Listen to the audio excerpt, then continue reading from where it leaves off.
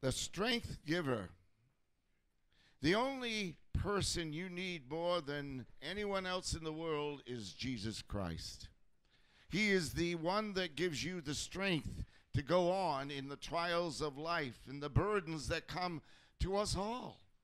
He is our strength giver. Though, yea, though I walk through the valley of the shadow of death, I will fear no evil, for thou art with me. He has given me the strength to go through the valley of the shadow of death. For death is only a shadow, but it is a shadow that we need the strength of God to go through. Finding strength in the midst of life's greatest difficulties seems almost impossible. And some people give up and they do not lift their ha- heads under the hills from whence cometh their their hope, their hope and their strength comes from the Lord who made heaven and earth. It seems impossible as we look at our country today and as we look at our situations today to go through it with joy. And yet, joy is what God gives us. The strength of the Lord gives us the joy of the Lord, which is therefore our strength. You see, we see prophecy being fulfilled all over the place today. I love to listen to one broadcast of the news that comes over the airlines, unless it's Christian news, because that one broadcast, that's all I can take. One broadcast tells me that prophecy is being fulfilled every single day. So the Lord's return is coming sooner than later. And the reality is this that gives me strength to go on and on and on until the Lord comes. In God's loving arms, we can find refuge from the storms of life. But it is in God's loving arms that we find the courage to move forward in our faith when we're told not to broadcast the word of God one day, it will take courage from God to broadcast the word of God in any way we possibly can. Because you see, God will give us the strength to do it in the midst of persecution.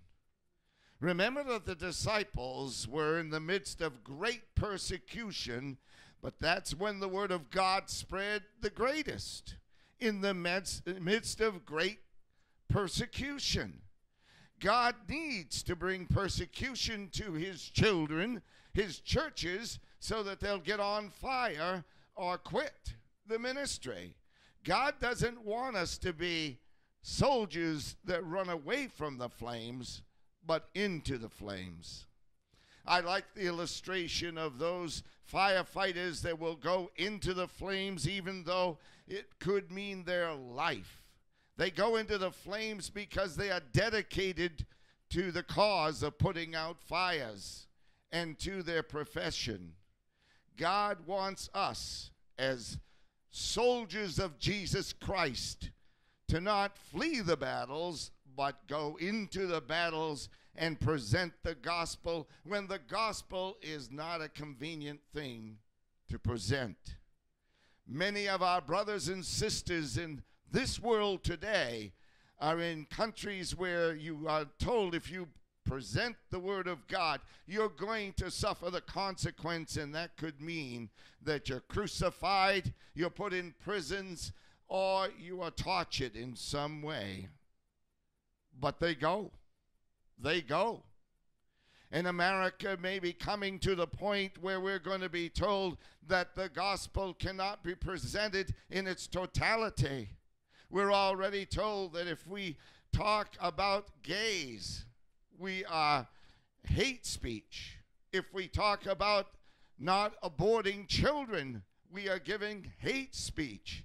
Well, the Word of God talks about it, and we talk about it because it's the Word of God we must not shirk our, duty to present the gospel in a time when the gospel is beginning to be looked upon as hate speech.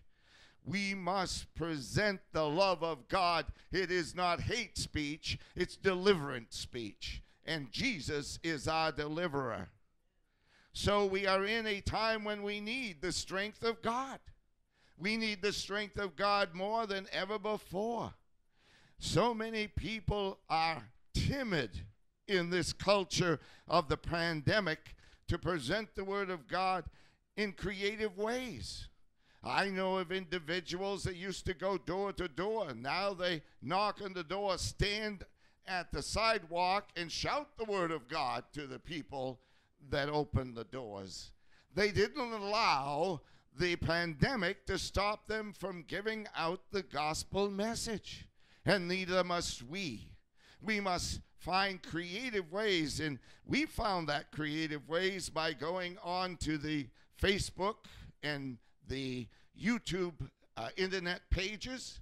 We found it a long time ago by going on to the public access stations, and we're trying to present it in any way we can just recently this week because I wanted to get people to go to my site on Facebook.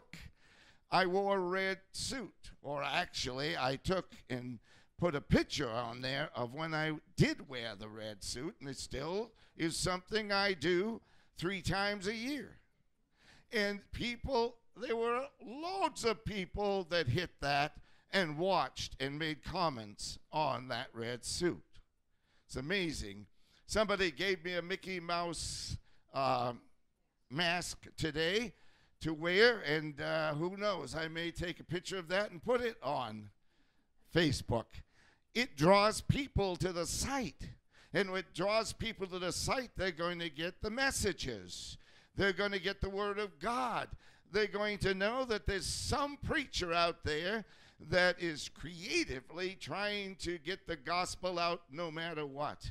And I am so blessed by all the other preachers that are doing that. They are finding ways to present the gospel even in a pandemic situation because people are going to hell every day. And many of them are going to hell without ever hearing the gospel of Jesus Christ. It is a time when we must give the gospel out in any way we possibly can. Unless you're dead, you're still a witness for Jesus Christ. Let me take a little water. That proves I'm not dead. I need water. Now, the Apostle Paul was intimately familiar, very intimately familiar with enduring great hardships.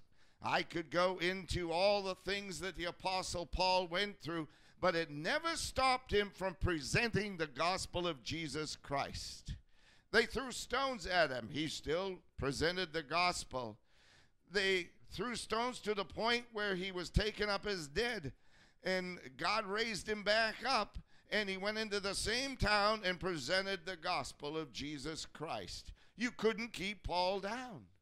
You couldn't keep after they were uh, taken over by the Holy Spirit of God after Pentecost. You couldn't keep the disciples from presenting the Word of God, even though they were threatened wherever they went. That if you speak any more in the name of Jesus, then you're going to be in trouble. Trouble is the saint's middle name because the saint, the child of God, that has truly received Jesus Christ can't keep silent. He's receiving the strength of God to create a greater noise out there that the gospel is true and that the world is passing away and heading for hell. So the Apostle Paul is one example, the disciples are another example. I could give you all the Old Testament prophets, they're another example. Let me ask you are you an example of this as well? In his second letter to the Corinthians, Paul reminds his fellow uh, believers of the hurt and the suffering he endured. In 2 Corinthians 1 8 and 9, we read these words Paul's words in the Word of God. For we would not, brethren, have you ignorant of the troubles which came to us in Asia, that we were pressed out of measure, above strength. We didn't have any strength of our own to survive those troubles. God gave it to us. Inasmuch as we despaired, he says, even of our lives. But we weren't going to keep silent. But we had the sentence, he says, of death in ourselves. When you gave your life to Christ, you died to self, and now you are called to live to Christ. I died when I received Christ and received a brand new life. It's the life that Jesus Christ gave to me. It's called the one new man. It is the life that will not keep silent. The flesh is the old life, and that old life is intimidated by everything that comes down the pike. But the new life is fighting the old life, and the new life, if you fill it with God's word, will succeed in overcoming the old life. But he goes, I had the sentence of death in us that we should not trust in ourselves. That's the purpose. I can't do this, God can. But in God who raiseth the dead. My trust and your trust as a servant of Jesus Christ is to have our trust in Jesus Christ. He is God Almighty and He raises the dead. So every time they try to kill you and it's not God's time for you, you'll come back. You'll scare the dickens out of them. Because you can't kill a servant of God unless God allows it, any more than they could kill Jesus until he let them kill him. Note number one on the screen, if you will. As Paul so wisely points out, each of us will be, for, will be faced with trials in life that require strength beyond our human capacity. If you've escaped those trials, it's just because you're shirking the battle. You will not shirk the battle if you are God's servant and committed to Him and have said to God, personally, I surrender all to you, Jesus. All to Jesus I surrender, all to Him I freely give, goes the hymn. And we sing it so well, but do we really mean it? The person that means it is going to find that the battle is the Lord's, but there is a battle. There is a battle. When these situations arise that come into our life that we need the strength of God for, we have a choice to make. We can turn inward and blame ourselves or blame God, or we can reach out to God for help. My friends, reaching out to God for help is the solution. My sister died this week and I reached out to God for the strength and the ability to rejoice in it instead of to mourn over it. And I tried to say to God, well, I did say to God, God, show me how to use this to propagate the gospel. So I started doing it. God showed me.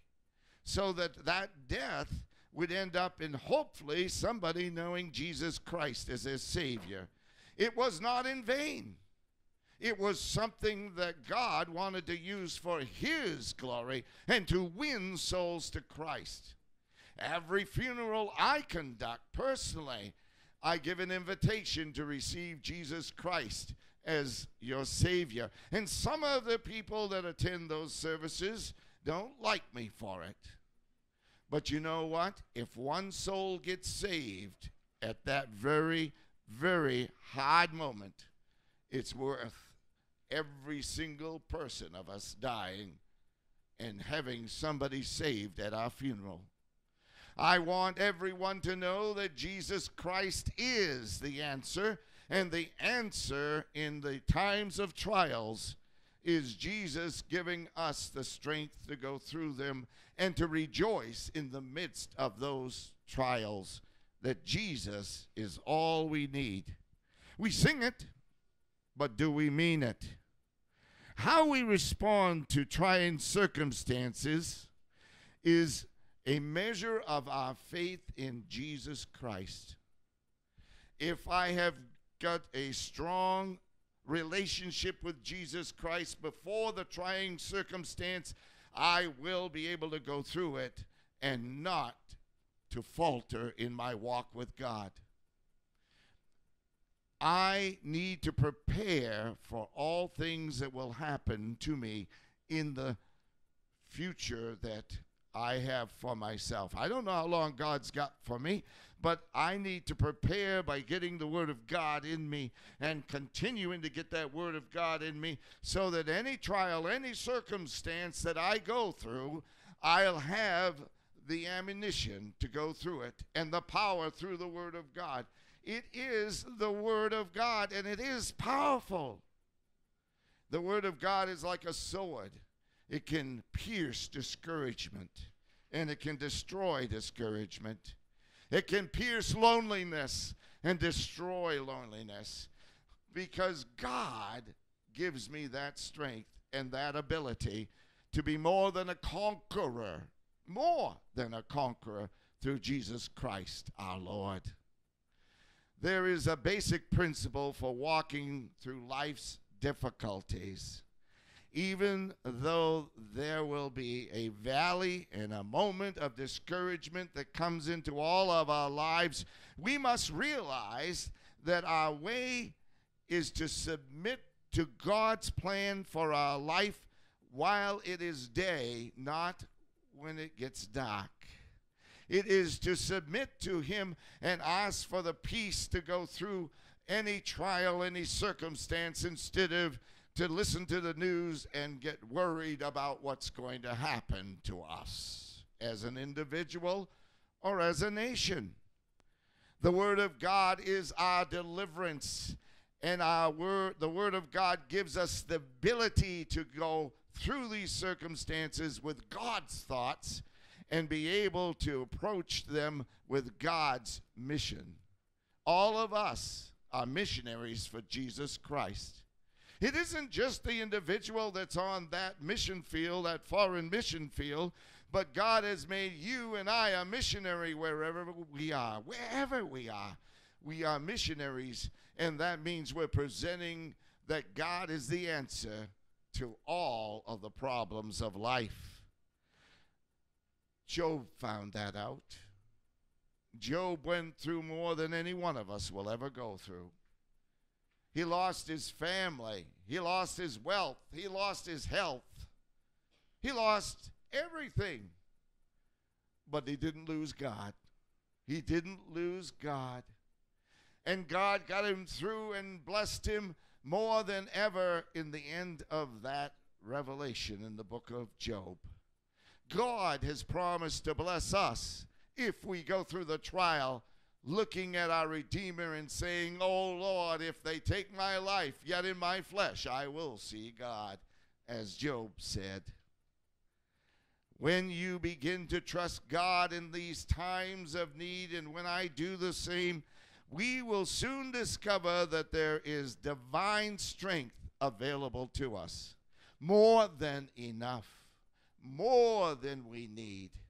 God doesn't give you just a little bit to get you through.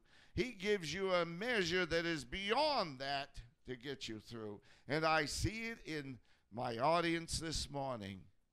You have been with the Lord for some time, and God has got you through many trials and many tribulations, and God is not going to let you go now. He's going to strengthen you as you lean on Him and not on your own understanding. Note with me number two on the screen. It expresses itself intellectually, morally, physically, and spiritually, and arises at the moment it is needed. That's the strength of God to allow you to face and overcome your obstacles. I don't have that ability in myself, but God does. If it's a physical problem, God will help you to go through that physical problem. He doesn't always heal everything, but He does go with us through those problems, and you can be sure He'll give you the grace to go through it if it's physical. Perhaps it is a spiritual problem, and you really you can't believe God in some things. You have trouble believing God. You have to pour over the Word of God and let the Word of God pour over you, and the Word of God will change us. He will change our thinking. It will change our weakness. It will give us the spiritual strength that we need. But we've got to pour the Word of God into us. You know, the Word of God is the most owned, but the least read. It's the most owned book, but the least read. If I'm going to get strength from the Word of God, I must be in it daily. I must pour the Word of God in me. And if I don't understand some passage, I just simply pour it in and let God do the work. But I don't keep it there after Sunday and not pick it up until the next Sunday. I'm letting the Word dwell richly within me so that it can transform me. It changes me. I don't change because I read the word and I'm going to make that so. The word of God will transform each one of us that reads it.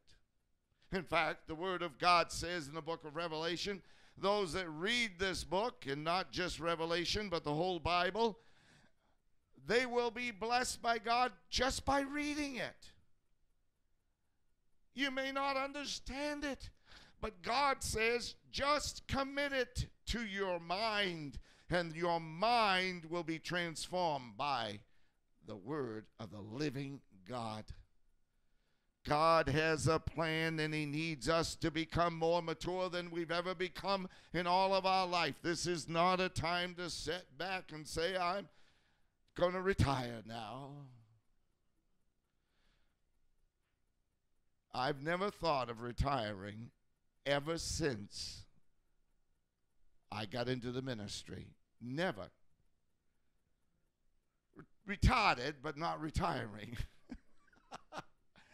but I'm telling you the truth. I've never thought of it. I've never wanted to quit any church. There have been one or two that have quit me, but I've never quit them until they made it very clear they weren't going to receive the Word of God. But I can tell you this I've never thought of not being a propagator of the Word of God as his minister because he called me. He called me. It wasn't a person that called me. It wasn't me that called me. It was God Almighty that called me. And He called you too to be a Christian. And a Christian does the same thing in that world that I do in the pulpit present the Word of God to a dying race. If you don't think they're dying, listen to their proclamations on the news in their political persuasions. They have not got a sound mind. But the Christian has a sound mind. And the Christian can discern what is of God, what is not of God, what must be resisted, and what must be accepted as God's will. But if we don't get the Word of God in us and allow that Word to keep getting in us, then we're going to fail to have that kind of discernment. And we will not live according to God's plan for our life. This strength that the Apostle Paul has, he had to renew daily. He said, I die daily. What's he dying to? His flesh. He's dying to his, his emotional bends. He's dying to his own will. He's dying to everything daily and starting to live for Christ. And he made an impact. He's called the greatest missionary that ever lived. He's made an impact on the whole world because he died to self and he lived to Jesus Christ. Are we living for Jesus in these dark days? Number three, it is the power that is available to every child of God, but only through total reliance upon Him.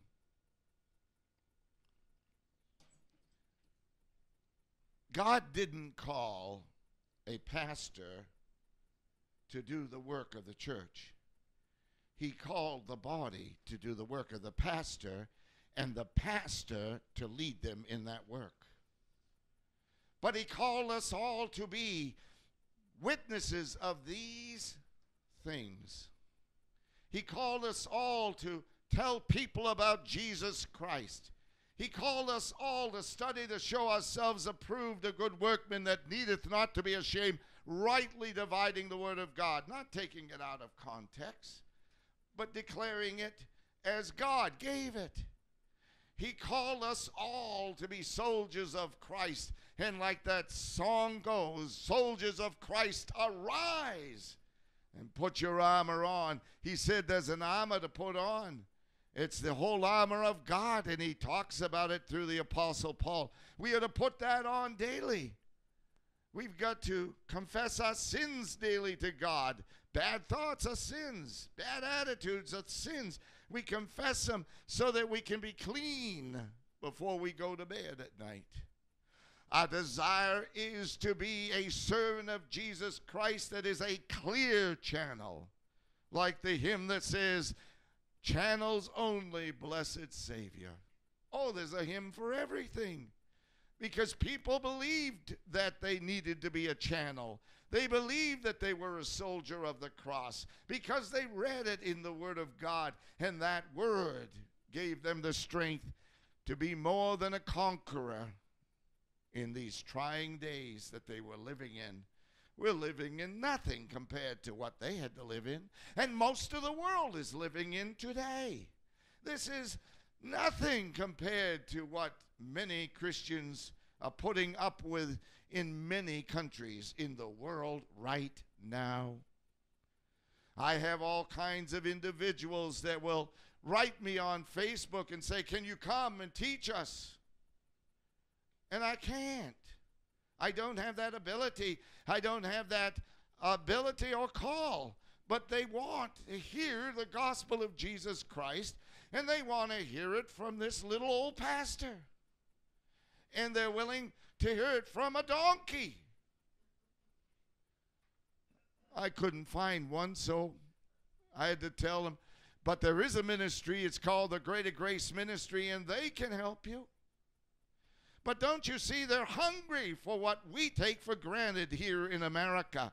There's a church on every corner. We can get every flavor of the word that we want, and some are sour. They're begging for somebody to come over and tell them the gospel. And I point them to my Facebook page and say, All my messages are there. Listen to them. And I tell them I will pray for them. And I pray online for them. I don't do it vocally, I just write down the prayer. And they're so grateful they got a prayer for their problem. You see, we must be looking at these situations and saying, Oh my God, how can I make this witness? Will it be through somebody on Facebook that I lead them to Jesus Christ? Will I find a way to do it on YouTube? I, I, it's going to be closed one day. They will not want what we are giving, the Word of God, on these channels. Conservative views are already being taken off.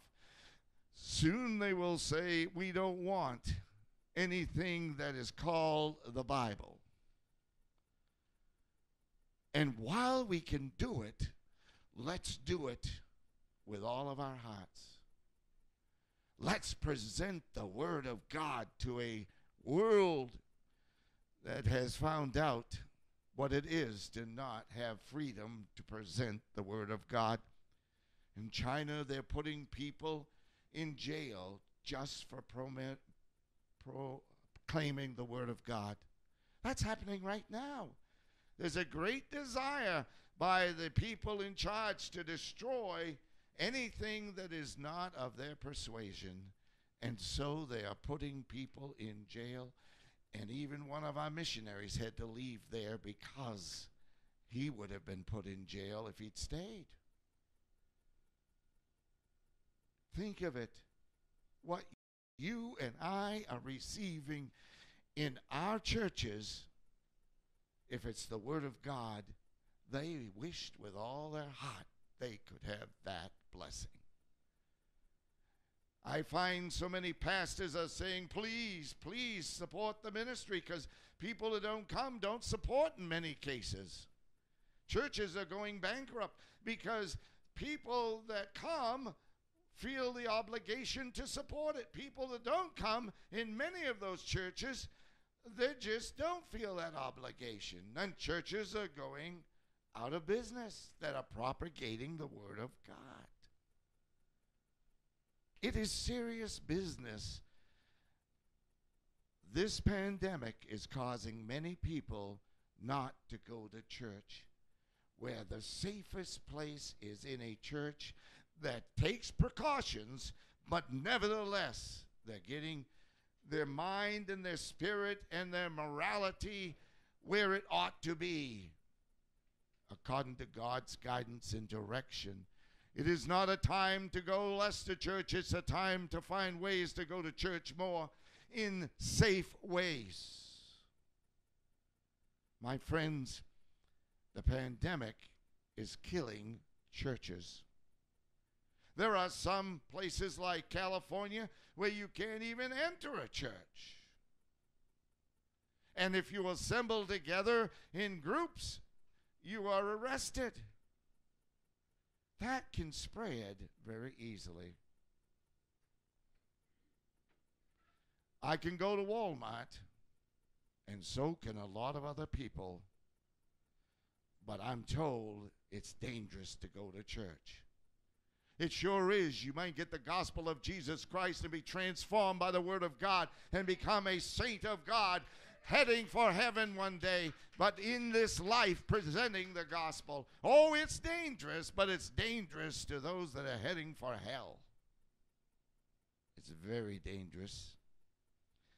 The tragedies of our lives can be transformed into triumphs if we find our source of strength is Jesus Christ and we let Him fill us daily with the Word of the living God. Essentially, all the strength to survive, the power to endure, the ability to overcome is found in our walk with Jesus Christ. We sing the song, He walks with me and He talks with me and He tells me I am his own. How often has he done that for you? If you're not walking with him daily, you haven't heard it daily. But I can tell you, I know that God walks with me. I'm not the greatest Christian that ever lived. I'm sure of that. But I know God walks with me because I believe His word and His truth. Why did God send the Holy Spirit to live within us? because he understood we were weak and we had frailties. We couldn't do it on our own. The little child says to his parents, Let me walk alone. I can do it alone. Or he's got a bicycle and the parent has been helping him keep balanced on the bicycle. And the child says, I can do it, mommy. I can do it. Let me go. And you know what happens. The child can't do it on their own. And I believe that song says, I can't even walk without him holding my hand. I cannot be more than a conqueror without Jesus holding my hand. I cannot be a, a survivor in the midst of those that are, are just turning away from God in this time of stress. I cannot believe God's going to protect me if I do what God tells me to do unless I'm walking with God. But I know that my Redeemer liveth, and that if I will simply do what God has commanded me to do, He would not command me to do anything that would be dangerous to my walk with Him. Then I shall be more than a conqueror, and the Word of God shall not fall to the ground. The word of God shall not fall to the ground. He knew, God knew we could not survive on our own. He knew that we would not have the ability to be more than a conqueror, even as he knew the disciples couldn't make it without him. They tried to, and one betrayed him, and the other denied him three times, and probably the others fell too, because they tried to walk without him. But he said, I'll never leave you nor forsake you. Hold my hand. Hold my hand. Take my hand, precious Lord, and lead me on. Lead me home. What is the purpose of our trials? The answer can be found in Philippians 4:13, where Paul makes a familiar statement that we often will quote. It is this, I can do all things. No, don't you mean some things, Jesus? No, I can do all things through Christ that strengthens me. I can do it through Christ. I can go through the death of a loved one through Christ that will give me the strength. I can go through the trials that are coming against us in this world today through Christ who gives me the strength. I can't do it on my own. I need my daddy, and he's my daddy. Abba, Father, Daddy, Daddy. Do you know how Paul learned the value of that statement? Note with me number four on the screen. The discovery came through experiencing trials and being thrown into impossible situations. He only learned that when God put him in situations that he needed it for. And you and I only will know that deep down when God puts us through situations or has put us through situations where we need it. I cannot know that God will take care of my finances till I tithe. Then I know because God has. But for a long time, I didn't know that. I wasn't for it, even when my wife was for it. And then God got to work on me, and I grew up a little bit. And I began to do what she said, but not desiring to, just because I wanted a little peace in the family. In time, it became very clear that God would bless me if I did that. To this very day, I'm a wealthy man. Maybe not as the world sees it, but I'm a wealthy man. I have all I need. He has promised to give us all we need, not all we want. And that's what Christians get all mixed up with. God, I want this Mercedes. I, I want this huge big screen TV. I've told you, and some of you may remember this. There's an organ in the other room, it's in the office. I bought that in my first ministry because I thought I needed it. It's, it's uh, one that lights up and you know where the notes are and you can press it because the paper also has that same lights on it blue, red, whatever and you can play it. I haven't played it for so many years, I don't know if it works anymore. I didn't need it. But I thought I needed it. I thought I needed it. So often we think we need something we don't need. We need only what Jesus gives us. Jesus has promised to supply all our need according to his riches in Christ Jesus. And therefore, I need strength to go through trying hours. I need strength to go through any situation that is a trial. Therefore, I will receive it if I seek it with all my heart. Now, how can you be assured of God's strength? Surprisingly, the answer lies in weakness. It's the opposite of strength. God's trying to make me weak, so I need Him. If I was strong, I wouldn't talk with Him. I've got everything I want. It reminds me of that song that we have changed the words to. And uh, what, what's the title of that old Frank Sinatra song? I did it my way. And good old blue eyes. He did it his way. I hope he got God's way in there somehow. But I can tell you this when I sing it, it's got her words she put to it. It's called I Did It God's Way. You can't succeed in doing it your way. You only succeed as God looks at success when you do it God's way. Everything else is not a reality. Note number five, if you will. What does all this mean? It means that when we are weak, when we're at the end of our ropes, we can exchange our weakness for the glory of God's strength. Think about that. When I am weak, I don't give up and say, I can't do that, Pastor. I say, Oh God, give me the strength to do that because you've told me the same thing you told the pastor that that's what you want me to do.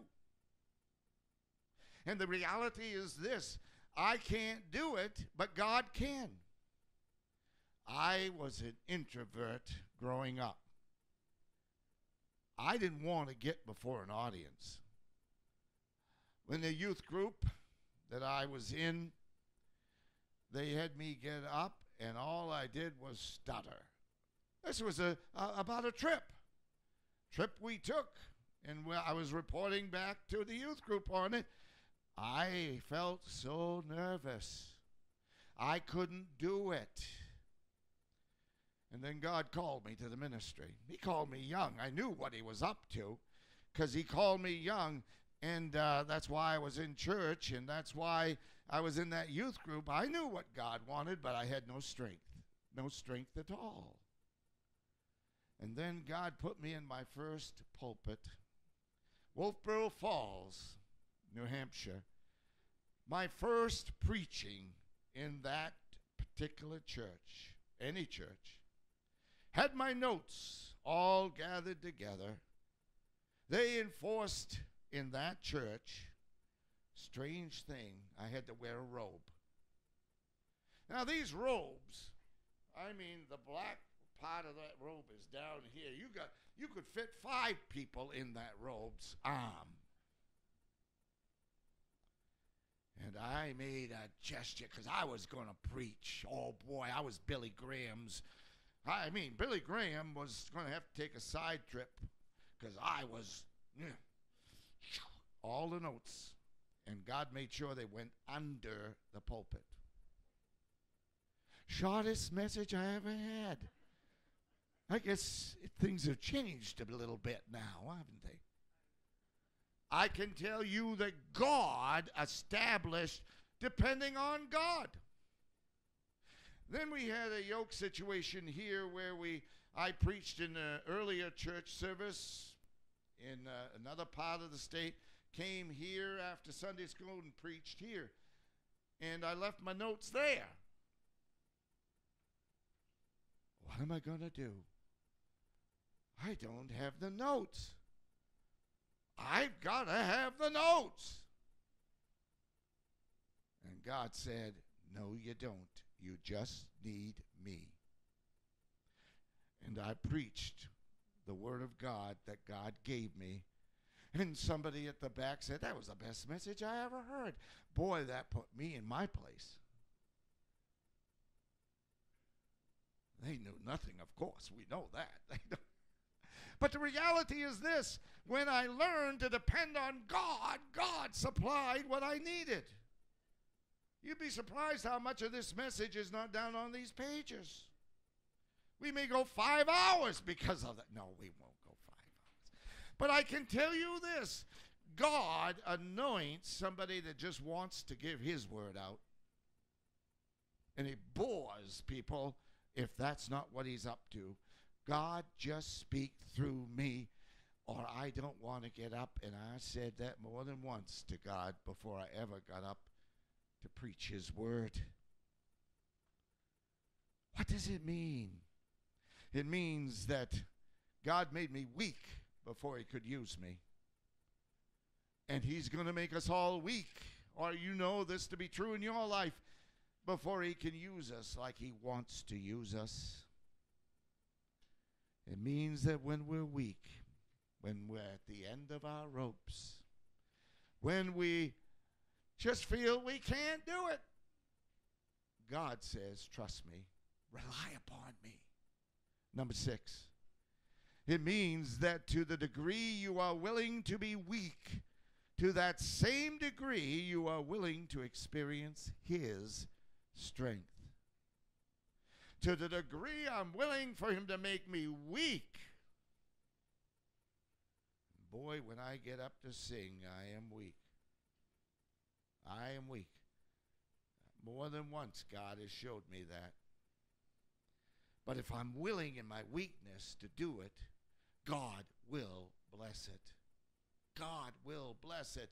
When I'm willing to get up and preach, when I'm weak, when I've gone through trials and tribulations, but I know, and there's a lot of people in this this ministry that are in bad situations physically, and it does bother your pastor, and he does want them to get well. But when God says, I'll give you the strength, I'll preach through you, I'll sing through you, I'll do it all through you, because now you're weak, and I'll get the glory. Not you, not you. I'll get the glory. And God loves his servants to speak, giving him the glory. God said in Matthew 5 3, Be poor in spirit, full of weakness and humility. Serve him knowing you can't do it, but with him you can do all things. When you and I learn that it's in our weakest moments that we feel so helpless in those weakest moments, I remember Corrine having a problem. All of a sudden, she had to do her teaching on computer. She did it for a long time, face to face, and all of a sudden, the pandemic made her do her lessons and teaching on a computer. And she was very weak. She said, I'm weak. And God brought her somebody to teach her and get her through with flying colors. When we were there and saw what she was doing, I said, I guess God came through for you. I didn't tell her that, but I knew it. I knew it because she was so weak, she needed God to do something, and God did it. And if it worked for Corrine, if it works for me, if it certainly works for my wife, I'm sure it's working for you. God wants you in your weakest moment to rely on His strength. I've been in this pulpit when I didn't want to be in this pulpit because I wasn't feeling well. Things were going very bad physically with me, and I almost fainted once. You didn't know that. Because I asked for God's strength and He got me through. You see, the reality is this if you're weak, you depend on God.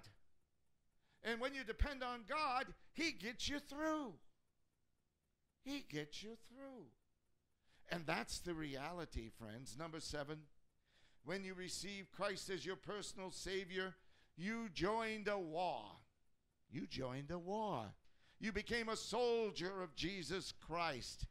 Yet, as a treasured child of God, you are not a soldier that has to do it on your own. You do it through the strength of God Almighty.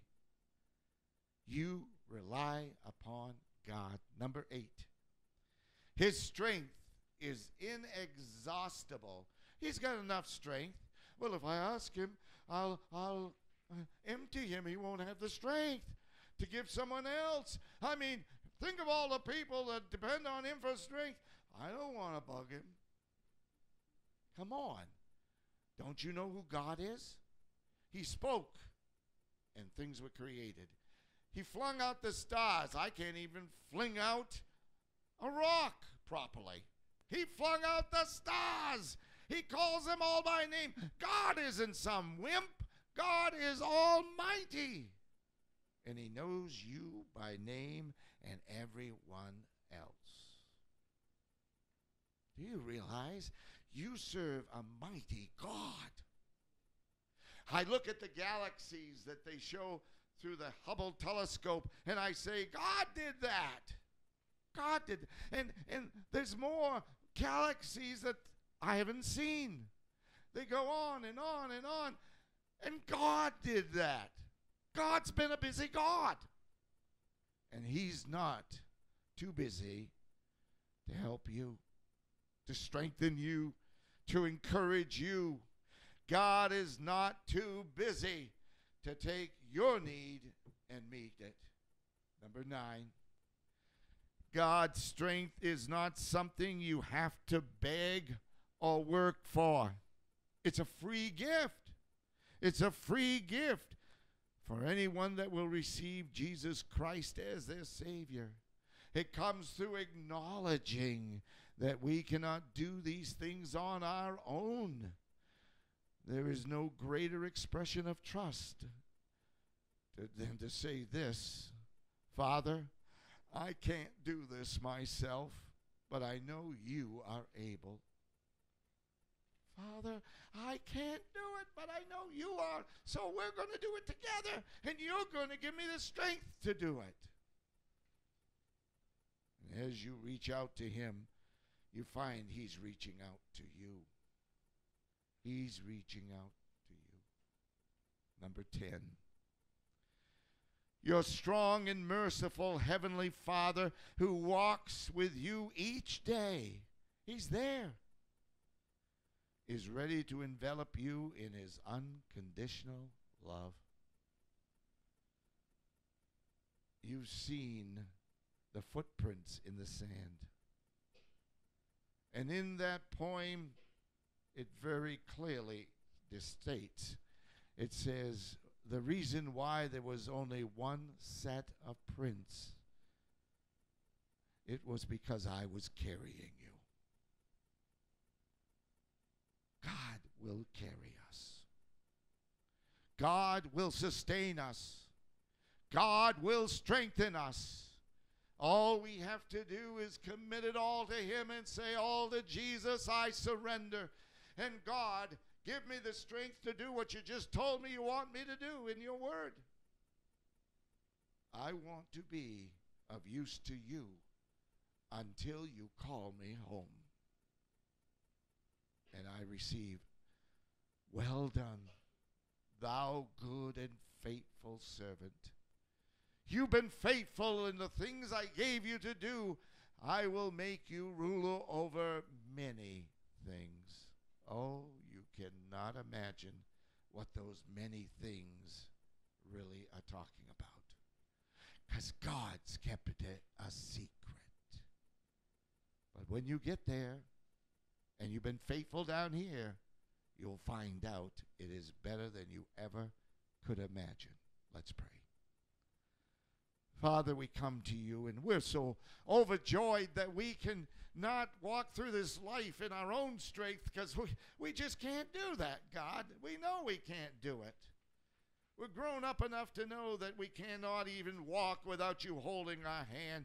We cannot live the Christian life without you giving us the capacity to live it. We cannot honor you and do anything you want us to do without you empowering us. So, Father, we come to you and we ask you to help us as we adventure in this world in the next few years, few months, whatever you have for us. May we have the testimony we were more than conquerors through Jesus Christ our Lord. For those listening to this on the internet or on public access TV and you've never received Christ as your Savior, you like what you've heard, but you, you really haven't experienced it because you've never asked Jesus Christ to forgive your sins and come into your life. You can do that right now. You don't have to wait. This is the acceptable time. This is the day of salvation, says the Word of God. Will you not acknowledge your need of Jesus? You may not understand it all.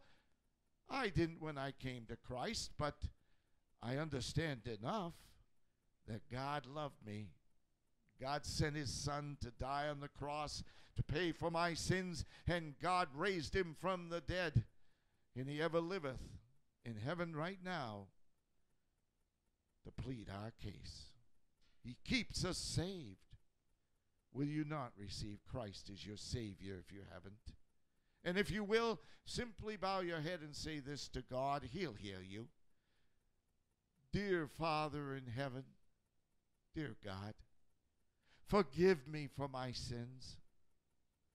I know I have sinned against you and against others. Please forgive me. Come into my life, Jesus. I want you to be my Savior. I want to go to heaven when I die.